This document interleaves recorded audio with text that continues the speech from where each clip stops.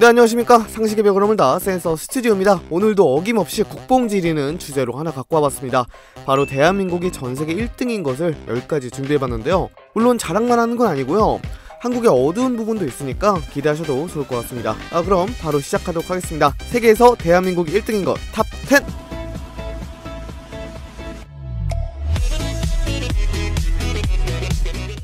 10위는 의료보험입니다. 의료보험이 뭡니까? 말 그대로 의료 행위에 대한 보험이죠. 여러 사람들이 의료 비용을 미리 모아서 지불해서 많은 비용이 드는 의료 서비스에 대한 부담을 줄이는 정책이죠. 많은 나라들이 앞다투어 이 정책을 실시하려고 하고 있습니다. 그런데 대한민국의 의료보험은 국민건강보험이라는 이름으로 1963년에 도입이 되었습니다. 광복을 1945년에 했는데 의료보험을 30년도 채 안 돼서 도입했다 이 말입니다. 물론 군사독재 정권 시기였기 때문에 밀어붙인 경향도 없지 않아 있습니다. 아무튼 이 의료보험을 도입하게 되면서 대한민국은 세계 최고 수준의 의료보험 체계를 가지게 되었습니다. 모든 국민이 소득에 비례해서 건강보험료를 납부하고 있고 동일한 혜택을 받고 있죠. 의료복지 사각지대에 놓인 저소득층도 이 의료보험을 통하여 값싸게 의료 서비스를 받을 수 있게 되었습니다. 현재는 독일, 프랑스, 미국 같이 다른 나라들이 한국의 의료보험 체계를 배우기 위해 전문가들을 파견하고 있다고 합니다. 만약에 의료보험이 시행되지 않았더라면 암에 걸렸을 경우에 집을 팔아야 되는 상황까지 오게 될지도 모릅니다. 대한민국 최고 자랑거리 의료보험이 10위를 차지했습니다.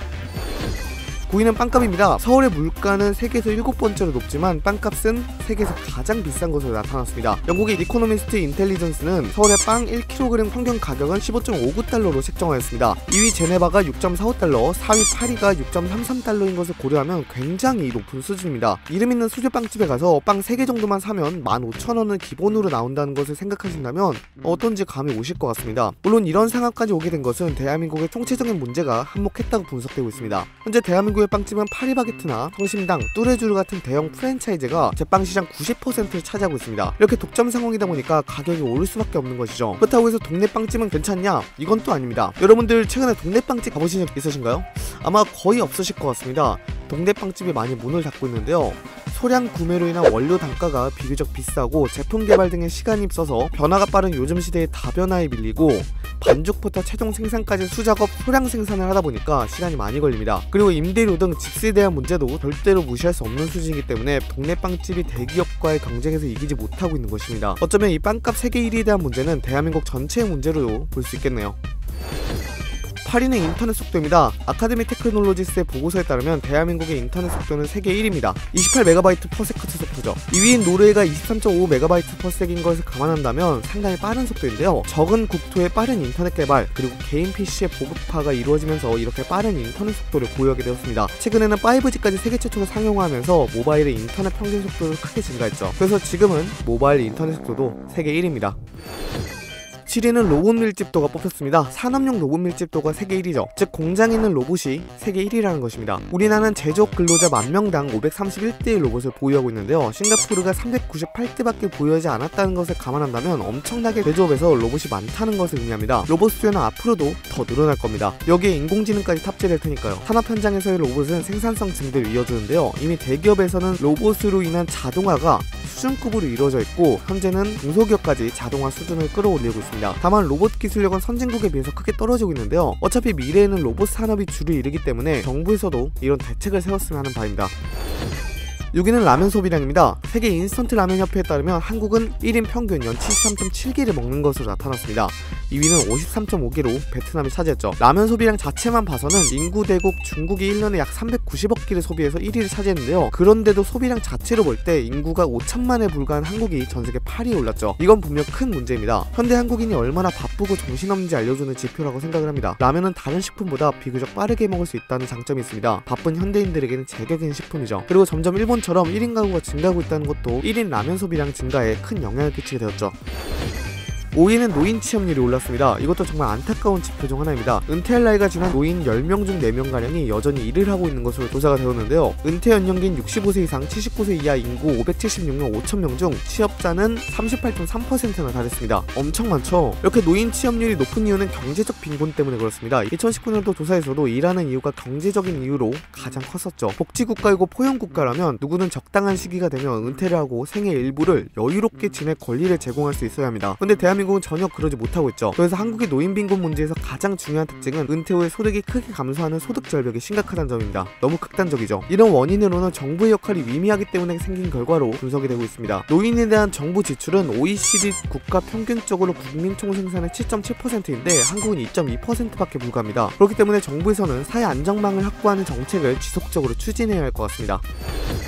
저희들 나쁜 이야기를 좀 했으니까 좀 좋은 이야기를 좀 해볼까요? 4위에 세계 혁신국가 1위가 선정되었습니다. 세계 혁신국가는 특허 활동이나 생산성, 연구개발, 제조업이 창출한 부가가치 항목 같은 국가 전반에 대한 혁신성을 지표로 나타낸 것입니다. 근데 여기서 세계 1위를 차지했습니다. 무려 6년 연속이나요. 그만큼 우리나라가 미래에 대한 투자가 얼마나 효율적으로 진행되는지, 인적 자원은 얼마나 잘 효율적으로 관리되는지 알 수가 있습니다. 이 지표를 보면 인적 자원 및 연구와 연구 개발, 연구원 수, 정보통신 기술은 세계 1위입니다. 우리 기업들이 얼마나 좋은 제품을 만들려고 연구를 하는지 알 수가 있죠. 그리고 얼마나 연구원들을 갈아 넣는지도 알 수가 있습니다. 다만 외국인의 직접 투자나 출판과 미디어 제조업, 학생당 중등교육 교사의 수, 중복해고 비용이 낮은 수준이어서 이 점도 차근차근 해결해 나가야 할 것 같습니다.